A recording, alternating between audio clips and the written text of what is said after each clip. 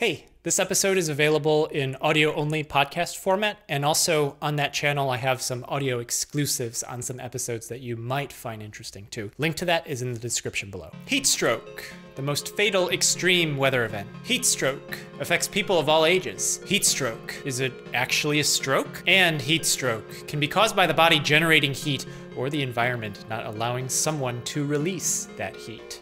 I recently reported a Bitcoin miner who had heat stroke in his sleep and his organs shut down. He ran multiple computers in a room, graphics cards overclocked, fans running on high, and all of it was generating a lot of heat. Suddenly, during a heat wave, the patient didn't realize how hot it was in his room. He wasn't ready for it because he hadn't installed his window AC units. He slowly became dehydrated. The room was hot and his body couldn't cool down. He heat stroked in his sleep one night and suffered permanent minor brain damage. This was reported on an image board and people took it as a joke and Maybe it is, but the same person allegedly responded to a blog at the time named Bitcoin Mining Accidents and told his story.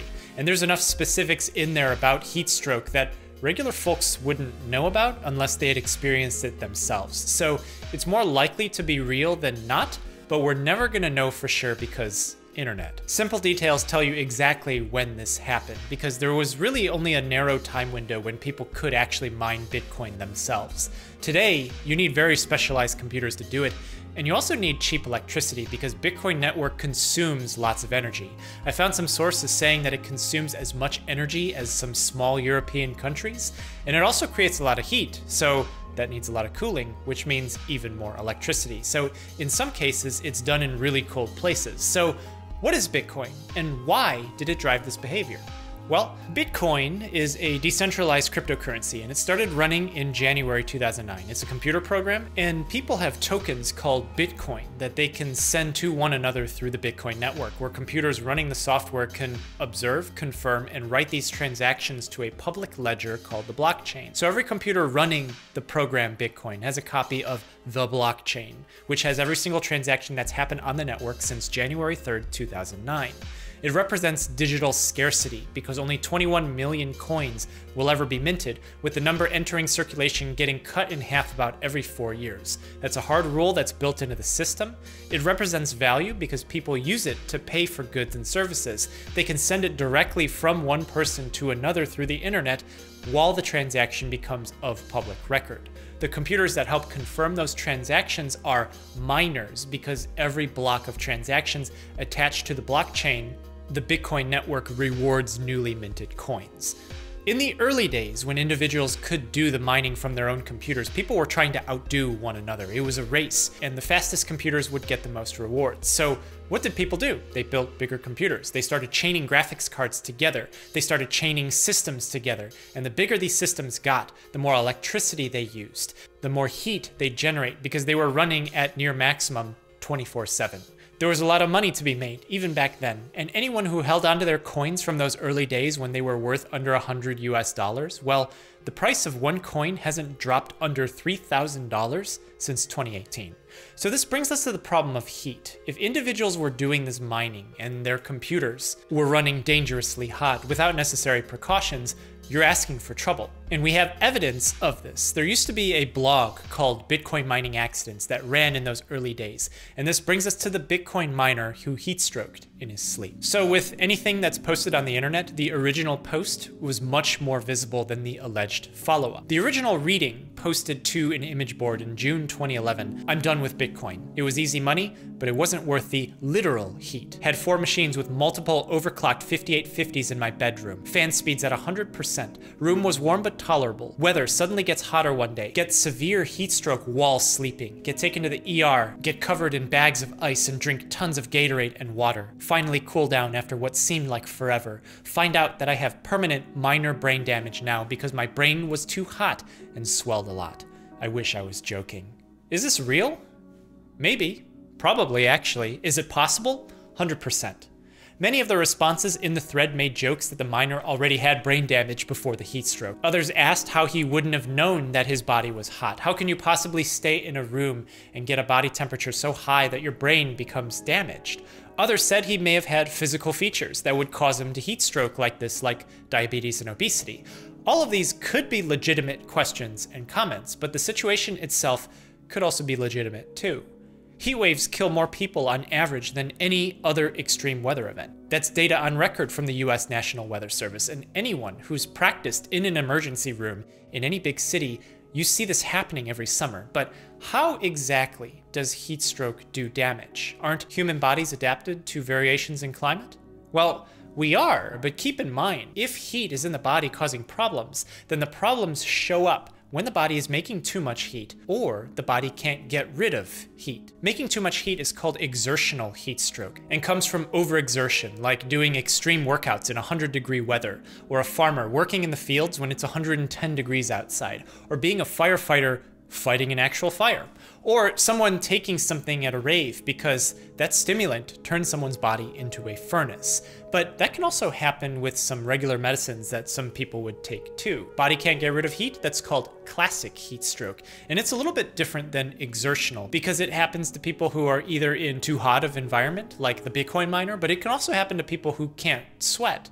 Who can't sweat? Well, some diabetics can't because they have decreased sweat gland innervation, and in the body there's an increased temperature threshold for cutaneous vasodilation, so that predisposes those patients to heat stroke. And classic heat stroke can happen in someone with other underlying illnesses too. When excess heat is present in the body, it might not matter whether it's generated or accumulated because the pathophysiology of disease is about the same. Heat stress in the body leads to an increased metabolic rate in cells. This increases core body temperature, which the body tries to mitigate through sweat. Water is the ideal medium to do this, because its specific heat is so high. Most of our body is made of water too, and for most healthy people in normal situations, this thermoregulatory feedback loop finishes here, that excess heat is dissipated through sweat, and then everything is fine. But say something happens and more heat than expected is present. Cardiac output is going to increase. This will increase skin blood flow as an attempt to dissipate heat. But if more blood goes to the skin, less blood is going to go to the organs. The body's not going to make a bunch more blood suddenly. So the body can still compensate for these changes because of heat, but only up to a certain point. When central venous pressure, that's as the blood returning back to the heart, starts to decrease, this pathway enters a non compensable feed forward phase, and this is where heat stroke starts. Less circulation to the viscera means increased core body temperature. Remember, water has a high specific heat, and less flow overall means that the organs can't cool down. And one of the first organs to go, because it's so sensitive to heat, is the brain. I mean, it is called heat stroke after all, and a stroke is any time when the brain can't get enough oxygen. Could be from a clot or a bleed, or from the body becoming like a furnace, burning up the whole thing. And central nervous system disturbances are universal in heat stroke. They always happen.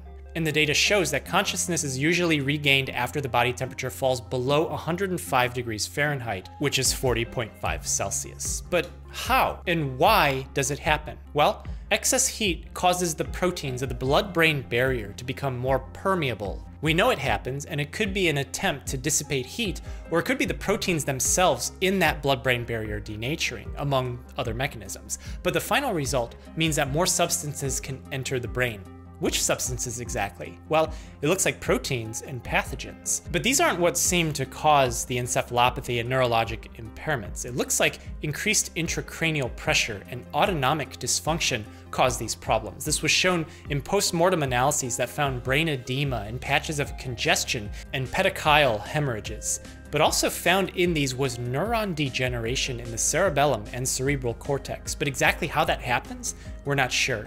And this is what happened to the Bitcoin miner. And actually, from retrospective data, those who have this kind of brain damage also tend to have higher mortality too. Since the Bitcoin miner is young, the case in my video, he was 23, but the person actually posting allegedly was a college freshman, so we're looking at 18 to 19 years old. We don't actually know if his chances of dying really increased, but to give you an example, there was an inhaler with long-acting beta agonists called LABAs that reportedly increased the risk of asthma-related death. But a second analysis of a larger dataset published in 2018 showed that there isn't an increase in the risk of death. But the story of heat stroke doesn't just end with the brain. It doesn't just end with altered consciousness, that's only the beginning. Disseminated intravascular coagulation, that is a bleeding and clotting disorder, quickly happens. Respiratory distress comes in as hypotension and hypoperfusion set in. Remember, as the body tries to dissipate heat by surfacing the blood to the skin, less blood goes to the organs. Remember, this is the start of the non-compensable feed-forward phase as central venous pressure drops. Then the acute kidney dysfunction starts to happen. GI and liver dysfunction starts to set in. Pathology samples from animal experiments show hemorrhage with vascular congestion, thrombosis, and also the presence of inflammatory cells, which means the immune system is somehow activated in the setting of heat stroke. Heat stroke definitely does set off inflammation. Interferons, which are signaling proteins, are activated and immune cells start to swarm around in the body. This makes sense from a very superficial level. Protein messengers are responsible for activating the immune system. That's what interferons are. They're proteins. What happens to proteins when heat is applied? Well, they start to denature and they fold differently. That could make them not work at all. Excess heat in the body, if it's not cooled down in time, will cause inflammation, leukocytosis, coagulopathy, very possibly from protein denaturing. And what exactly happens in that coagulopathy? Well, tiny little blood clots lodge into the microvasculature. That's the small, narrow blood vessels that supply blood to the organs get blocked. Then, the organs start to starve of oxygen, causing tissue ischemia without enough oxygen from this blockage and from the redirection of blood to the skin, cells start to die in a way that trigger the immune system to react, which will damage the organs too.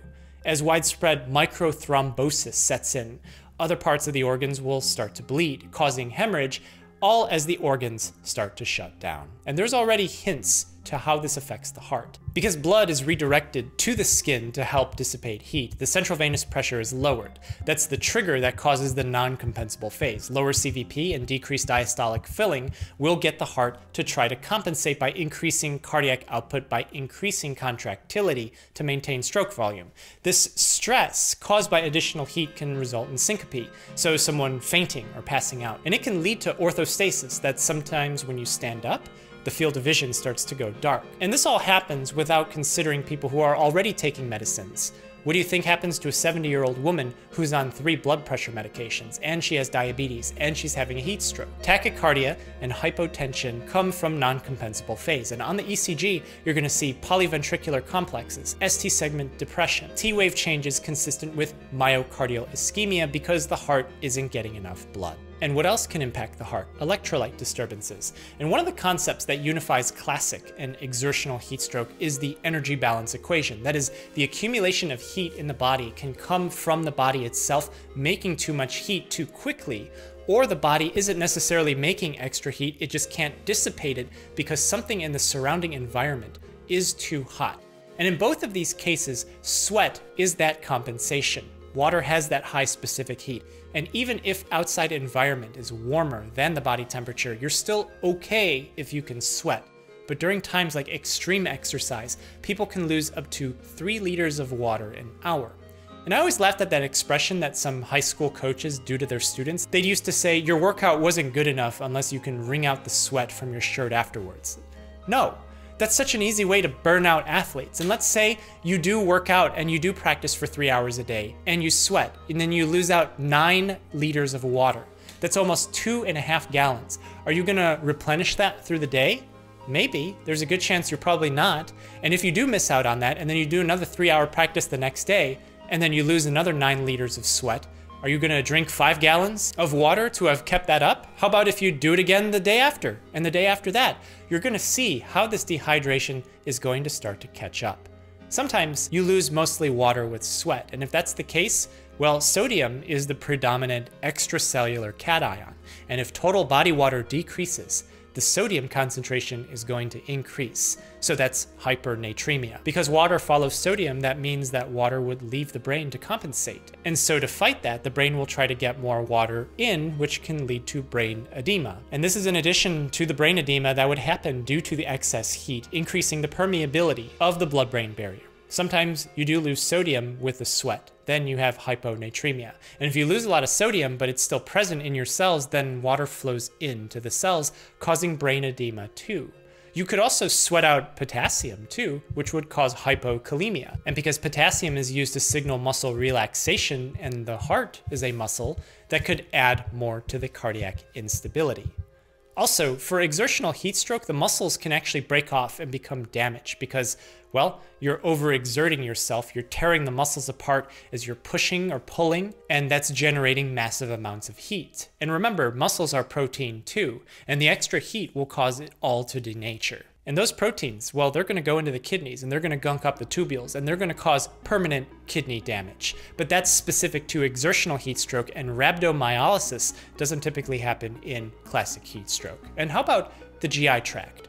Well, we've known for decades that gut ischemia can increase epithelial permeability. It was reported in long distance runners suffering from exertional heat stroke back in the 80s. The mechanism for how it could happen were described in the early 2000s, and multiple case reports were published describing endotoxemia, intestinal barrier dysfunction, and gut perforation, all happening in the setting of hyperthermia and heat stroke.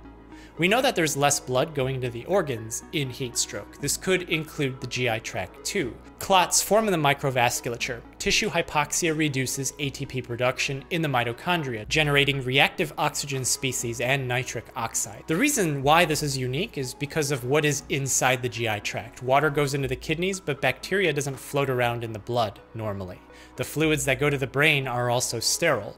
But in the GI tract, you have lots of bacteria that helps digest foods, and as those leak out, it results in endotoxemia. So, how do you treat this? Well, the easiest and the most obvious answer in this case is just to cool down the patient's body. And how do you do that? You can do it with ice packs. You can also fan the patient while spraying their body with water until their core temperature decreases. The latter kind of emulates sweating, and you want to do this quickly. The prognosis worsens if the body temperature is above 104.9 Fahrenheit, which is 40.5 Celsius. Although, if you're going to dump cold ice water suddenly on somebody, expect them to react negatively, regardless of a heat stroke or not. There isn't a medicine that you can use to lower body temperature, and thank goodness, because I don't think that that would actually help. So the treatment here, specifically for heat stroke, is just to cool the person down. This is heat stroke, not fever, so giving Tylenol paracetamol in this case would not help the patient. Actually, it might do worse for their liver. And if the patient is dehydrated, rehydrate them.